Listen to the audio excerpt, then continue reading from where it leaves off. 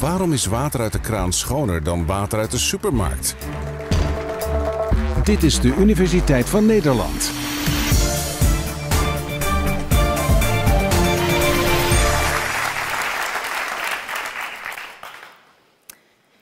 Ik heb hier een glas mineraalwater van een bekend merk uit de supermarkt. En een glas grachtenwater hier uit de grachten van Amsterdam. En ik denk dat als ik jullie vraag welk glas jullie prefereren om jullie dorst te lessen, de meeste van jullie zullen zeggen, doe mij dat mineraalwater uit de supermarkt wel. Maar na afloop van dit college weten jullie wel beter. En dat zal ik jullie laten zien.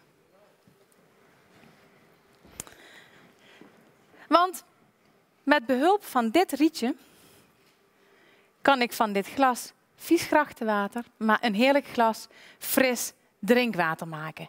En dat zal ik jullie laten zien. Dit rietje is een membraan. Het is eigenlijk een filter, zou je kunnen zeggen. En een membraan is een filter dat hele kleine gaatjes bevat, die sommige stoffen wel doorlaten en andere stoffen juist niet doorlaten. En dit membraan bevat zulke kleine gaatjes dat de watermoleculen, de kleine waterdeeltjes, wel door de wand van dit rietje heen kunnen, terwijl de vuildeeltjes niet door de wand van dit rietje heen kunnen. De wand van dit rietje is dus eigenlijk het echte membraan. En ik zal dat demonstreren. Ik hang dat rietje hier even in deze opstelling. Ik neem dat glas vieze grachtenwater. Ik zuig dat op.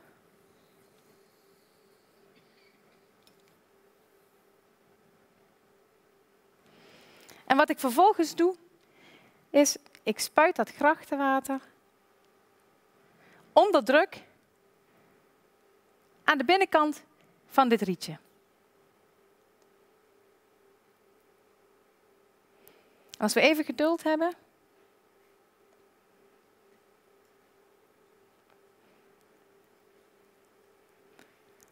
Dan zie je de eerste druppels al verschijnen. En je ziet heerlijk, schoon, fris water. Van grachtenwater met behulp van dit membraan.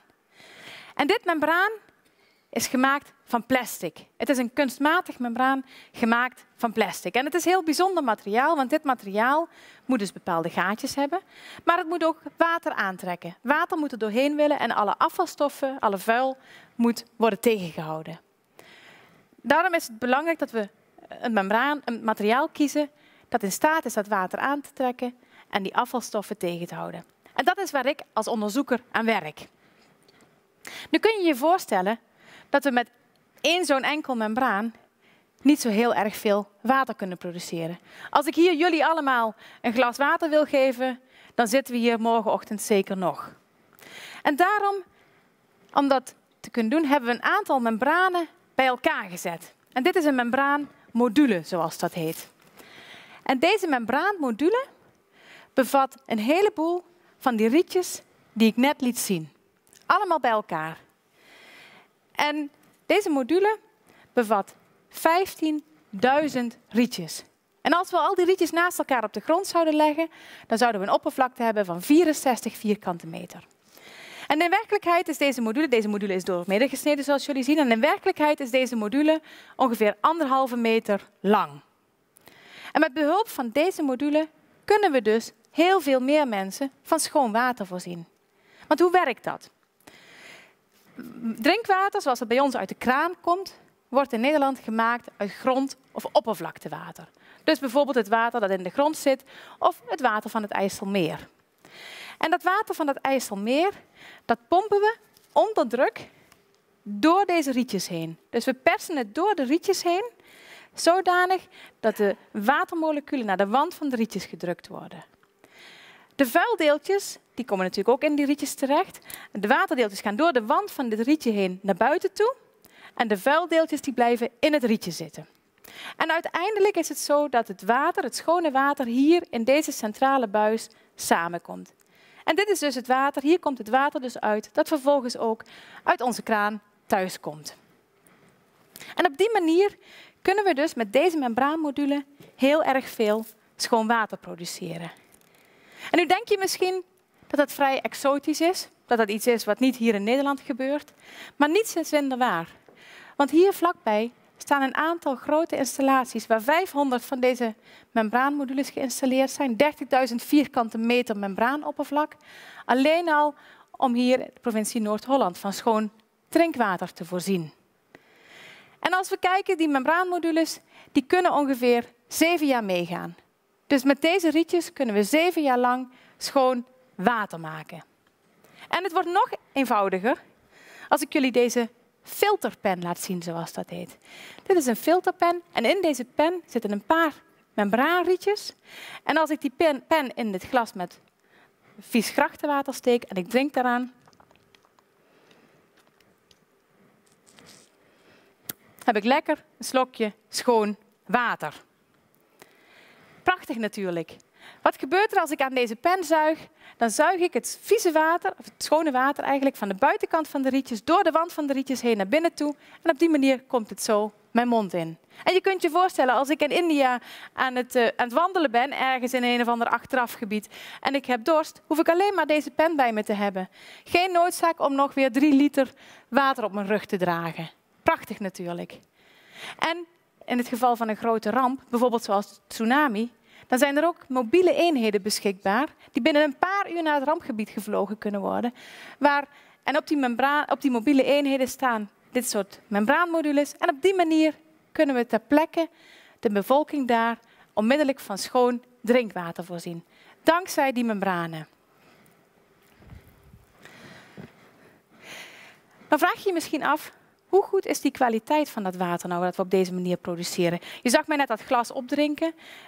Ehm, ik kan je verzekeren, de kwaliteit van het water dat we op deze manier produceren is uitzonderlijk goed. Ik noemde net al, het water zoals het bij ons uit de kraan komt, wordt gewonnen uit oppervlakte of grondwater bijvoorbeeld. En hier vlakbij in Utrecht is een heel belangrijke waterbron. En daar winnen we het water om drinkwater van te maken. Maar het verrassende is, een heel bekend mineraalwatermerk haalt precies uit diezelfde bron ook water. En het bijzondere is dat volgens de wet geldt dat mineraalwater op het moment dat het uit die bron komt, onmiddellijk de fles in moet. Dop erop, klaar naar de supermarkt. Tegelijkertijd geldt voor kraanwater dat we pompen dat op uit precies diezelfde bron in Utrecht. Dat wordt eerst gezuiverd met de membranen en pas dan mag het bij ons uit de kraan komen en niet eerder. Met andere woorden, deze fles wordt eerst gezuiverd voordat het bij ons uit de kraan mag komen. En sterker nog, voor het water dat uit onze kraan komt, geldt voor 65 verschillende componenten, is in de wet aangegeven hoeveel daarvan in dat kraanwater mag zitten. Voor mineraalwater is dat maar voor 15 componenten gedaan. En tenslotte, de kwaliteit en de zuiverheid van ons drinkwater wordt continu in de gaten gehouden. 24 uur per dag worden de monsters genomen en die worden geanalyseerd. En er hoeft maar iets mis te zijn of de productie wordt onmiddellijk stopgezet. Terwijl dat water in deze fles, dat wordt maar één keer in de zoveel tijd onderzocht of de kwaliteit nog voldoende is. Dus je kunt je voorstellen dat uiteindelijk het water zoals het uit onze kraan komt, vele malen schoner is dan het water dat we in de supermarkt kunnen kopen. Als het zo eenvoudig is, waarom vinden we dan niet overal membranen? Waarom staat de wereld dan niet vol met membranen en heeft iedereen toegang tot schoon water? Membranen zijn een relatief jonge technologie, relatief nieuw. Een jaar of zeventig geleden ontwikkeld voor, deze, voor het zuiveren van water, terwijl andere technologieën veel ouder zijn. En het kost gewoon wat tijd voordat een nieuwe technologie geïmplementeerd kan worden. Maar niettemin, er zijn wereldwijd duizenden installaties die op deze manier schoon water produceren. En in principe zou je met membranen elk type water kunnen zuiveren. Maar soms is het gewoon simpelweg te duur, omdat het water dat we moeten zuiveren veel te veel vervuild is. Je kunt je voorstellen als je de Ganges zou willen, willen zuiveren, de rivier in India, dat dat bijna onbegonnen werk is. Dat is niet alleen voor membranen zo, dat is voor elke technologie het geval. Maar er is nog iets anders. Als we membranen gebruiken, en daarvoor moet ik terug naar het experiment dat we net gedaan hebben. Als ik dat water, dat vervuilde water hier inspuit, dan krijg ik keurig schoon water door de wand van mijn membraan heen. Maar wat gebeurt er met het vuil dat in dit water zit? Dat blijft in dit rietje achter. Met andere woorden, hoe meer water ik filtreer, hoe meer vuil, hoe meer vervuiling er in dit rietje achterblijft. En je kunt je voorstellen dat op een gegeven moment dat hele membraan helemaal vervuild is met een dikke laag vuil. Want in dat grachtenwater zit, behalve schoon water, zit daar ook algen, wieren misschien. Er zitten um, wat deeltjes in, er zitten misschien um, wat broodkruimels in van de eendjes, uh, er zitten bacteriën in, noem maar op. En dat komt allemaal in dit membraan terecht. Kortom, we zullen daar iets moeten doen. En je ziet hier een voorbeeld van een membraan dat drie weken in het IJsselmeer heeft gehangen. Dat drie weken gebruikt is om schoon water te maken. En je ziet, het was oorspronkelijk een wit velletje, je ziet het is helemaal bruin geworden. Nu is dit een beetje ingedroogd en daarom kun je het niet zo goed zien. Maar in werkelijkheid, als we dat membraan zo uit het IJsselmeer houden en we kijken ernaar, dan zit er een dikke laag bruinige smurrie op dat membraan. En we zullen dus iets moeten doen om te voorkomen dat die laag te dik wordt en we geen schoon water meer kunnen maken. Want op een gegeven moment zit er zoveel vuil op dat membraan dat we heel erg hard zouden moeten drukken om er nog een klein beetje water doorheen te persen. En hoe harder we moeten drukken, hoe meer energie dat kost en hoe duurder de kosten uiteraard zullen zijn. Dus op een gegeven moment, als ons membraan te vuil geworden is, dan moeten we het schoonmaken. En wat doen we dan? We maken een lekker sopje van wat chlorix en daar spoelen we het membraan mee. Uiteraard zetten we wel eerst de waterproductie stop natuurlijk. We wassen het membraan met chlorix, we spoelen het lekker schoon. We spoelen het na met lekker fris schoon water. En vervolgens kunnen we het membraan opnieuw gebruiken. En dat gedurende een periode van ongeveer zeven jaar. Maar er is nog iets. De samenstelling van ons water wordt steeds complexer. Er zijn al gevallen bekend, van, in de buurt van ziekenhuizen bijvoorbeeld, waar ons grondwater steeds meer medicijnresten bevat. En er zijn zelfs al gevallen bekend van vissen met vrouwelijke eigenschappen. Omdat door de opkomst van de anticonceptiepil de hoeveelheid oestrogenen in ons water steeds hoger wordt. En als jij je terras schoonspuit met onkruidverdelger, wat gebeurt er dan met die restjes onkruidverdelger? Die worden door het regenwater keurig het oppervlaktewater ingespoeld. Het oppervlaktewater waar we uiteindelijk weer ons drinkwater van maken. En tenslotte, hier in Amsterdam is de concentratie aan cocaïne in het water 15 keer hoger dan diezelfde hoeveelheid cocaïne in het keurige Apeldoorn. En die stoffen stellen de uh, drinkwaterleidingmaatschappijen voor hele grote problemen. Want de huidige generatie membranen is niet geschikt om die stoffen te verwijderen, om die stoffen tegen te houden. De gaatjes in de huidige membranen zijn te groot om die stoffen tegen te houden. En die stoffen, als we niets zouden doen, zouden die stoffen dus gewoon in ons drinkwater terechtkomen. Iets wat we uiteraard niet willen. Gelukkig is op dit moment de concentratie nog niet zodanig hoog dat we ons zorgen moeten maken. We kunnen nog helemaal veilig het water uit onze kraan drinken. Maar we zien wel een hele langzame toename. En in de toekomst is de verwachting dat die hoeveelheid medicijnresten, hormonen, pesticiden alleen nog maar zal toenemen.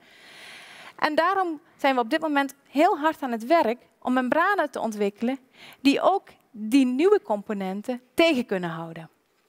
En dat doen we door bijvoorbeeld een bestaand membraan te modificeren. Door daar iets aan te veranderen, zodanig dat het ook die andere stoffen tegenhoudt. En dat kunnen we bijvoorbeeld doen door een net iets andere samenstelling van het type materiaal waarvan we het membraan maken te nemen. En op die manier geven we dat membraan net iets andere eigenschappen. We kunnen ook proberen de gaatjes in het membraan net iets kleiner te maken.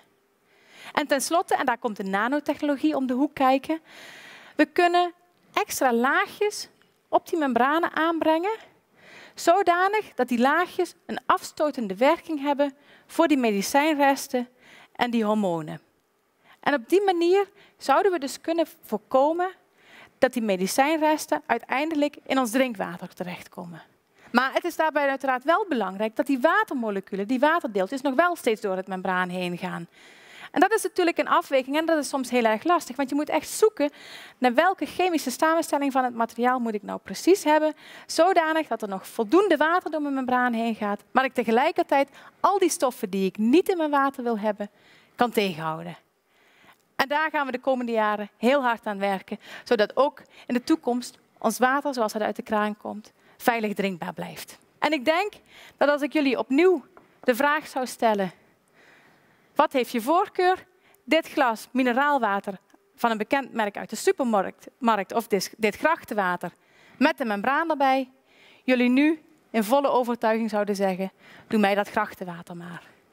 En zeker als je weet dat 1 liter van dit mineraalwater net zoveel kost als 500 liter water uit de kraan. In het volgende college wil ik jullie vertellen hoe we dankzij membranen van een vieze fabriek een drinkwaterproducent kunnen maken.